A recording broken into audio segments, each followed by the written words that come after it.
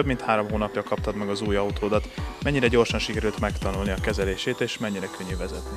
Minden kézre áll, és minden, minden úgy működik tényleg, ahogy egy, egy luxusautóban működnie kell. Nagyon könnyű volt megtanulni a kezelését. Nagyon, nagyon jó ülni benne, nagyon kézre áll tényleg, tényleg minden egyes olyan dolog, ami, ami a napi használatban kell.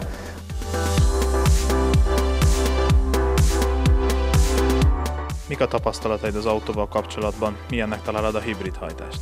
Megmondom őszintén, nem volt még életemben hibrid hajtású autóm, és ezért meglepődtem, hogy, hogy mennyi, milyen arányban veszi le a terhet a, a motoros hajtásról a hibrid, és, és szoktam is vele játszadozni a városban. Leginkább kis nyilván kis sebességnél, elinduláskor, hogy, hogy meddig bírja, meddig, meddig tudok vele menni elektromos módban, és, és nagyon meglepő, mert elég, elég jól tudom ezt használni a városban.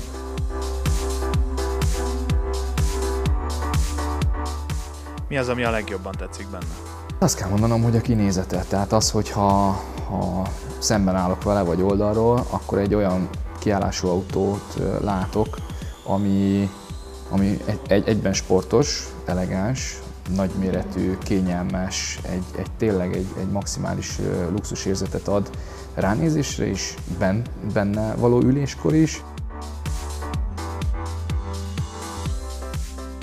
Milyen különbségeket találsz az előző autóhoz képest, és ezek mennyire segítik elő a mindennapos használatot? Mindenképpen nagyobb az autó, mindenképpen robosztusabb, és, és azt gondolom, hogy amikor megyek vele, akkor, akkor azért lehet érezni azt, hogy van benne súly és van benne kraft, tele van pakolva elég sok dologgal.